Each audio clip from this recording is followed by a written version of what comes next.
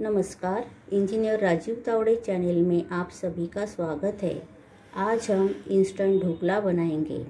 ढोकले के लिए हमने दो कटोरी बेसन लिया हुआ है, आधा कटोरी चावल का आटा, आधा कटोरी बारीक सूजी ली हुई है। यह सब हम मिक्स करेंगे अच्छी तरह से।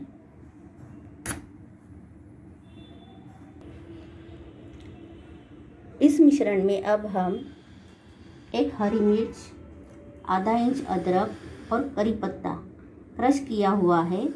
इसमें मिक्स करेंगे।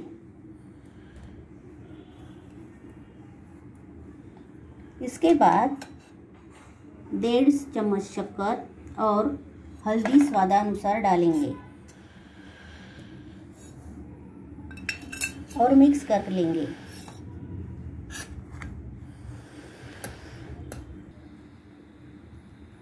तीन टेबलस्पून तेल लिया हुआ है। वह इसमें ऐड करेंगे। और मिक्स कर लेंगे।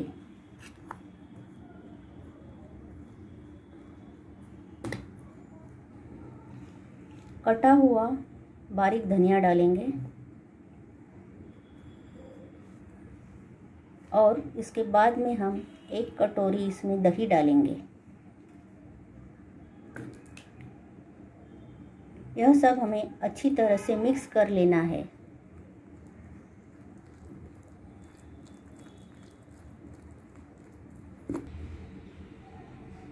बैटर बहुत ही थिक है, इसके लिए हम थोड़ा पानी डालेंगे और फिर से मिक्स कर लेंगे।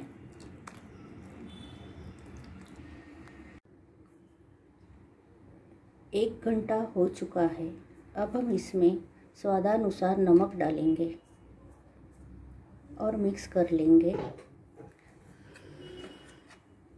और मैंने कुकर गरम करने रखा हुआ है, पानी डाल के और स्टैंड रखे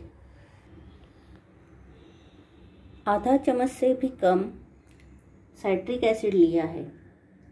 वह हम पानी में मिक्स करके लेंगे। पानी एक चम्मच ही लिया है। साइट्रिक एसिड को नींबू फूल भी कहते हैं। साइट्रिक एसिड के दाने पानी में डाइल्यूट हो चुके हैं। वह पानी हम बैटर में डालेंगे और अच्छी तरह से मिक्स कर लेंगे।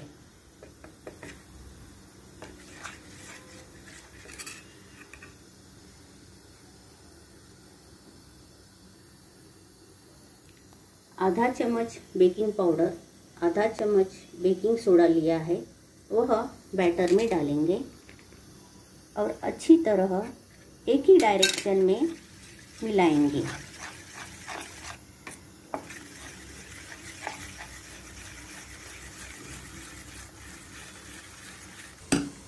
बैटर फूलने लगा है। और अब हम ये बैटर ग्रीस किए हुए डब्बे में डालेंगे।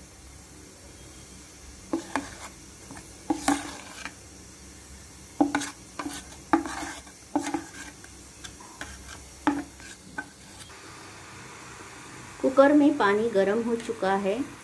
यह बैटर वाला डिब्बा हम उसमें रखेंगे।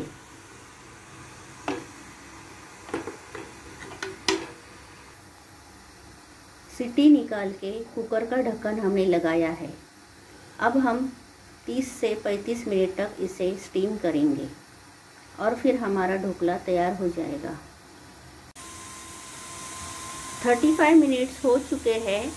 अब हम गैस ऑफ़ करेंगे। और दो तीन मिनट बाद ही हम ढक्कन खोल के ढोकला कैसा बना है वो देखेंगे। ढोकले पे डालने के लिए हम तड़के वाला पानी बनाएँगे। दो चम्मच तेल गरम करने रखा है, उसमें राई डालेंगे। करी पत्ता डालेंगे। हरी मिर्च डालेंगे। नमक डालेंगे। एक चम्मच शक्कर डालेंगे और आधा कटोरी पानी डालेंगे।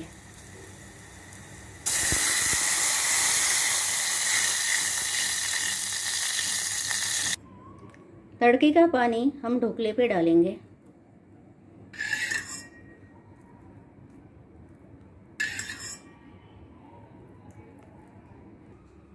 ढोकला चटनी के साथ अब सर्व करेंगे। ढोकला, चटनी और सॉस के साथ सर्व किया है।